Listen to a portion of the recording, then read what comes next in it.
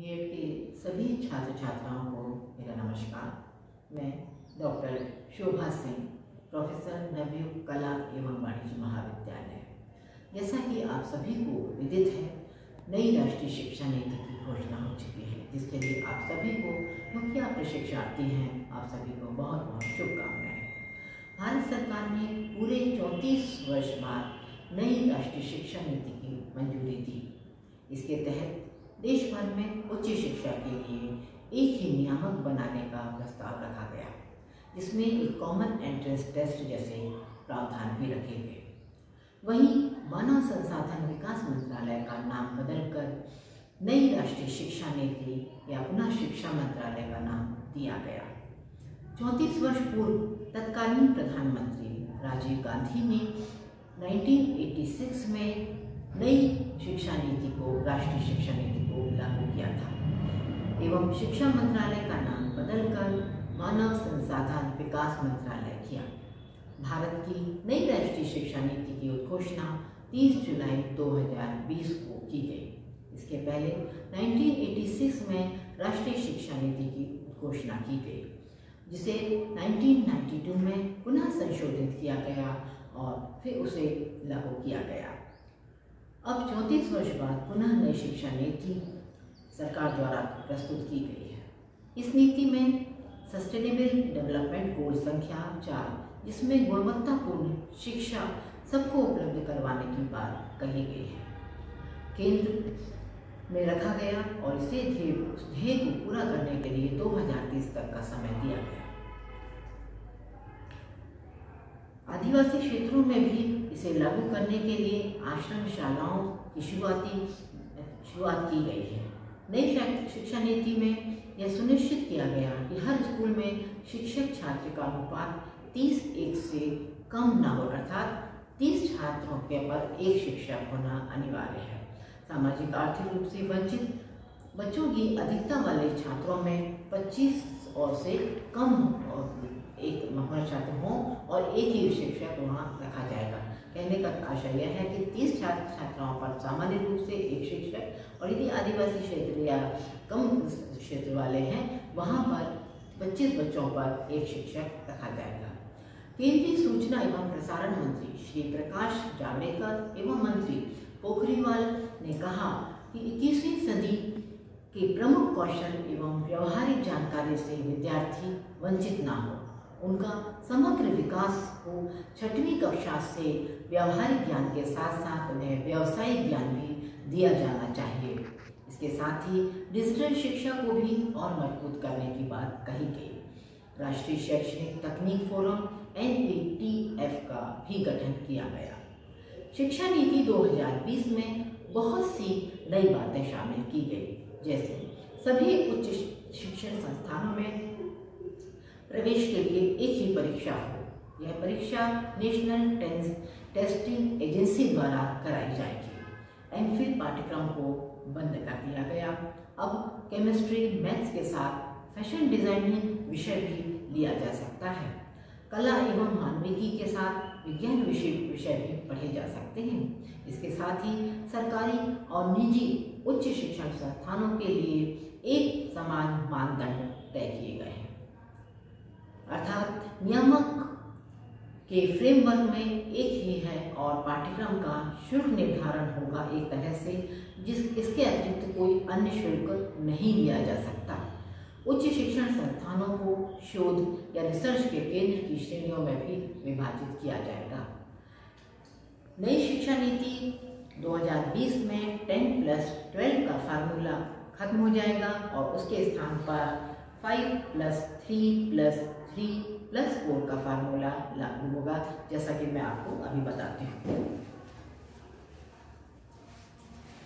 राष्ट्रीय शिक्षा नीति में जो नई बात आई थी, वो यही आई थी कि टेन प्लस टू फार्मूला खत्म करके उसके स्थान पर five plus three plus three plus four का फार्मूला लागू होगा।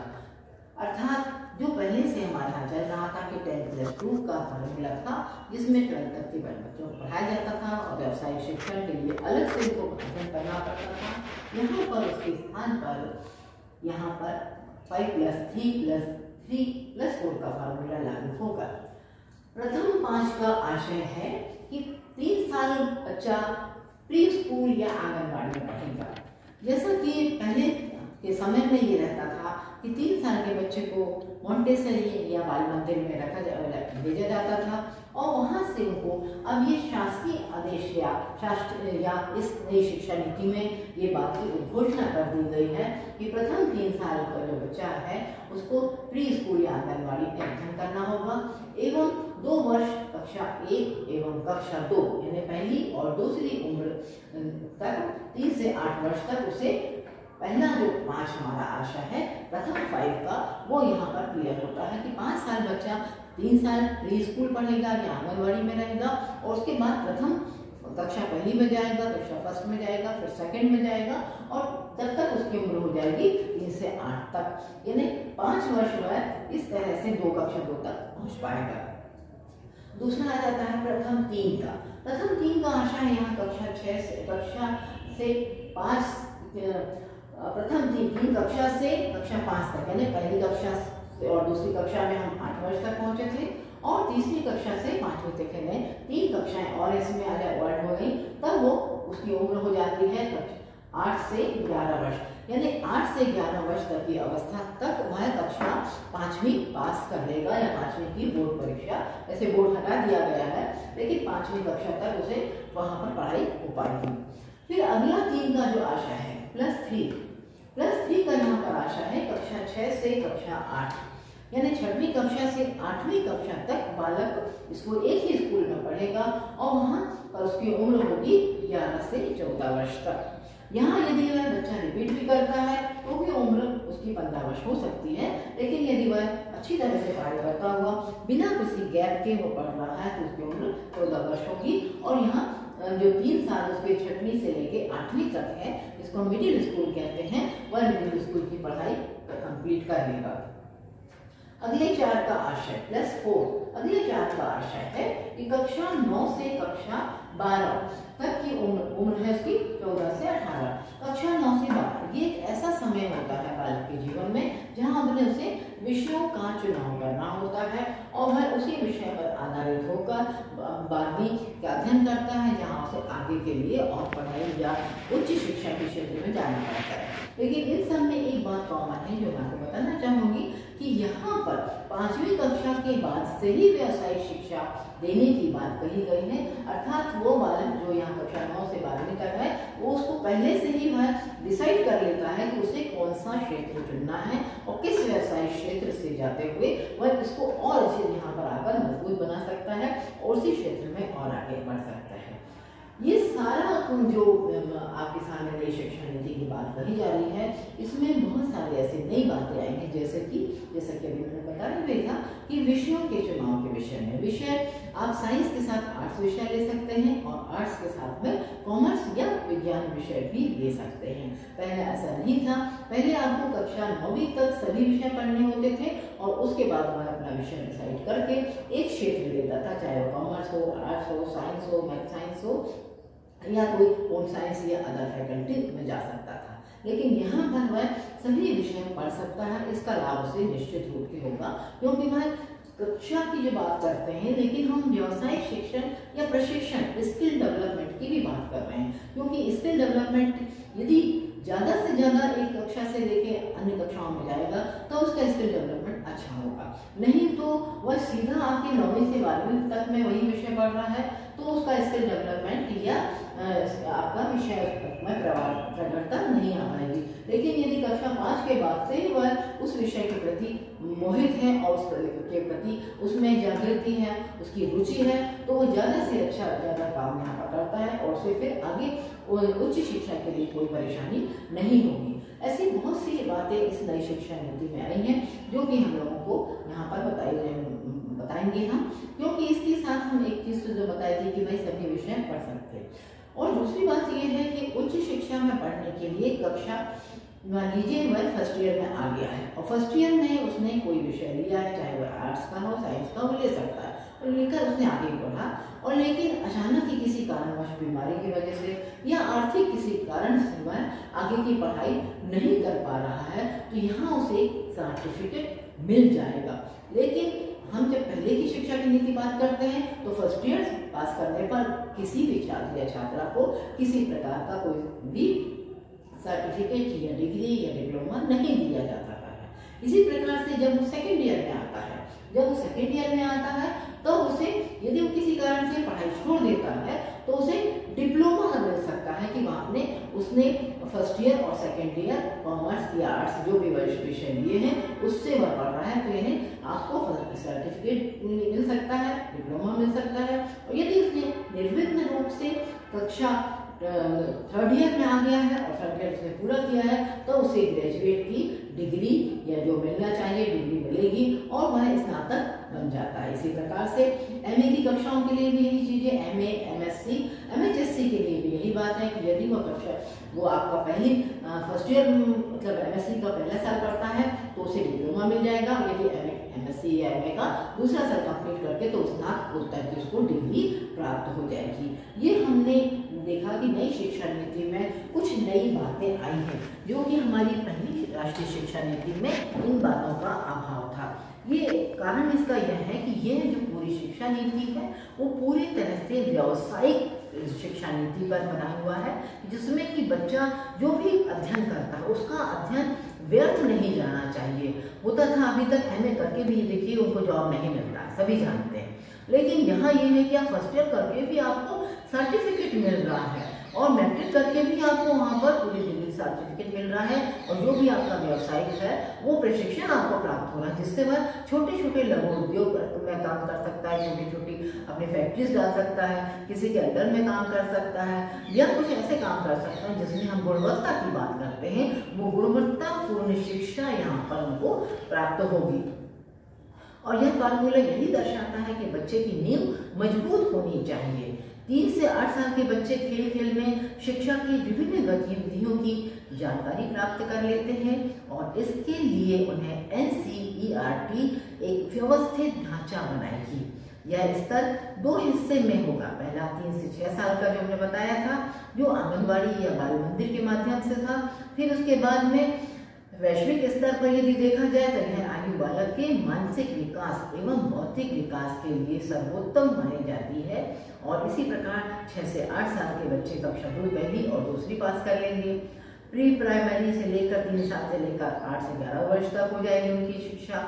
इसी प्रकार से जिज्ञासु प्रवृत्ति से माध्यम से सीखेंगे और मिडिल स्टेज या तीन से कक्षा तीन साल वहाँ पर प्रथम तीन है वह आ जाएगा कक्षा छठवीं से आठवीं तक और इस स्टेज में होंगे। ये विज्ञान, गणित के साथ साथ कला या सामाजिक विज्ञान समूह भी लेकर अध्ययन कर सकते हैं।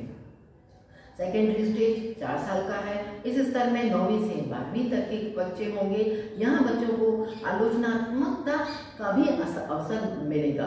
इससे बच्चे में बेहतर होगा, बेहतर उसका विकास होगा और साइंस सब्जेक्ट के साथ आर्ट सब्जेक्ट को पढ़ने से, उनका जो मानसिक, व्यवहारिक ज्ञान होगा, वह भी बढ़ेगा। और इसे लचीलापन भी कह सकते हैं। इसमें लचीलापन आएगा और जिससे छात्र अपनी पसंद के विषय चुनकर आगे बढ़ सकेंगे।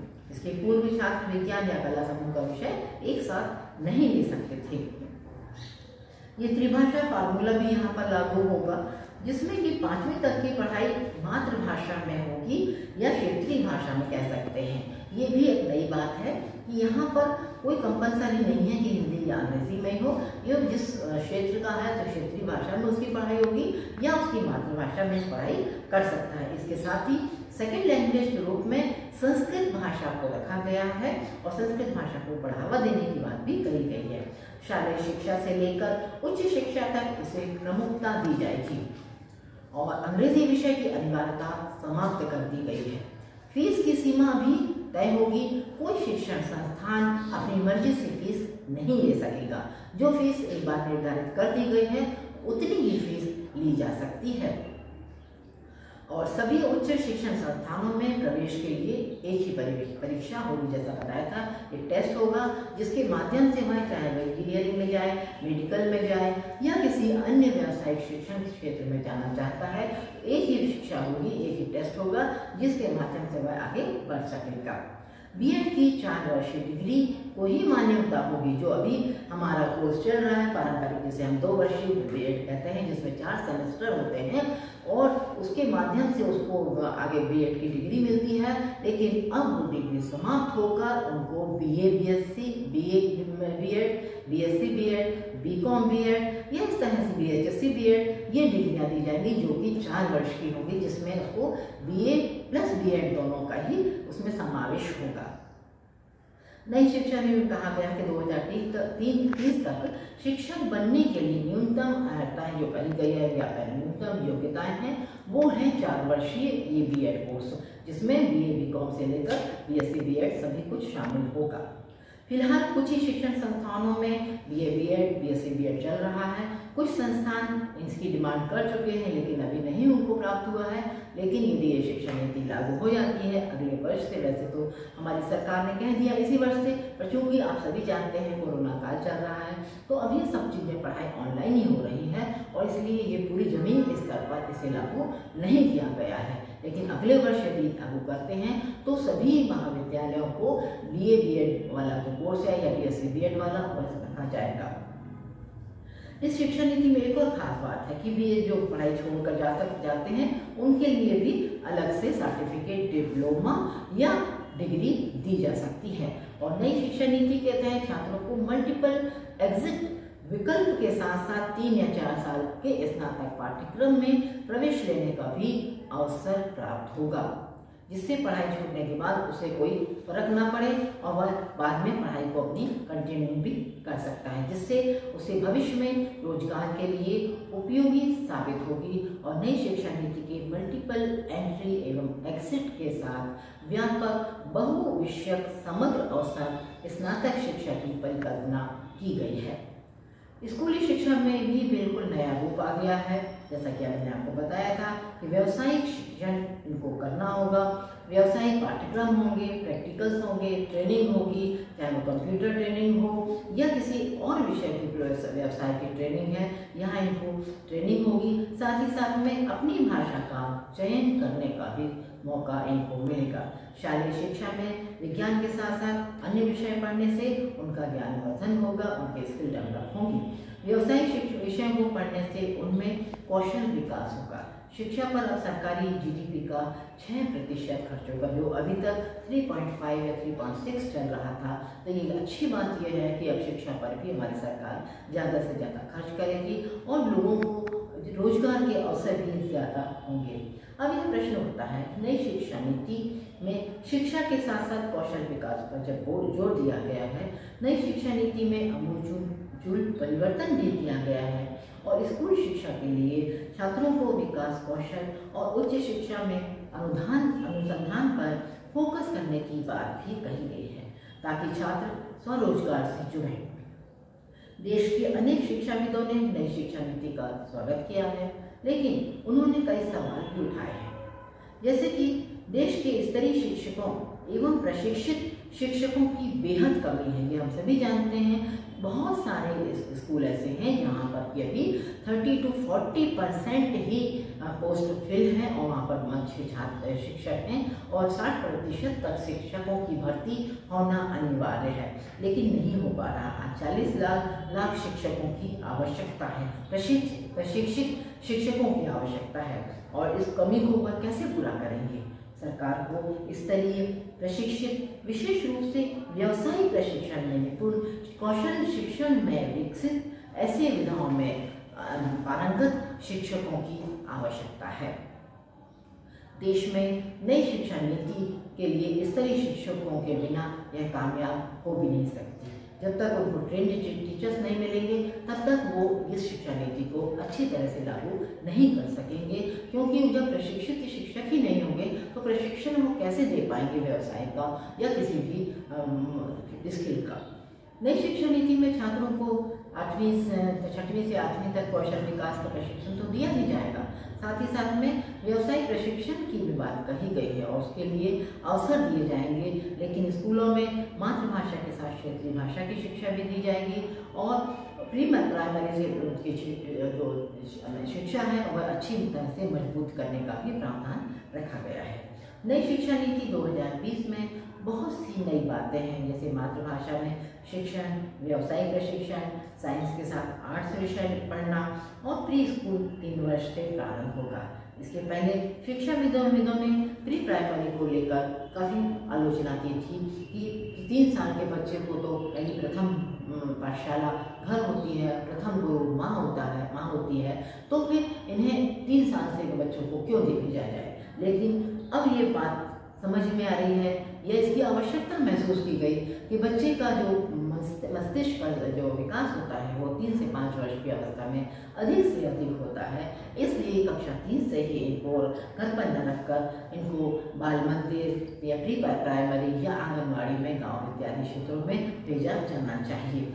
इस शिक्षा नीति में प्री प्राइमरी से लेकर उच्च शिक्षा में अमूलचूल परिवर्तन किए गए हैं और एक नए भारत की अग्र की ओर अग्रसित करने की ओर एक कदम भी उठाया है, जिसे आत्मनिर्भर भारत की ओर बढ़ना का पहला कदम भी कहा जा सकता है। आधुनिक भारत में की उजली तस्वीर इससे परिलक्षित हो रही है। अब भारत विश्व की शिक्षा व्यवस्था के बीच अपनी अलग पहचान बनाने में कामयाब होगा। विश्व के अनेक विश्वविद्यालयों के कैंपस भारत में आएँगे और रोज़गार के नए नए अवसर मिलेंगे। जो विश्व पटल पर यहाँ के छात्रों को एक अलग पहचान दिलाएगा रोज़गार के नए अवसर मिलने पर और साथ ही अनुसंधान की नई तकनीक विकसित होगी तो देश की प्रतिभा देश में ही रहेगी और भारत को उच्चतम स्थान दिलाने में अब कोई कसर नहीं रहेगी। Thank you so much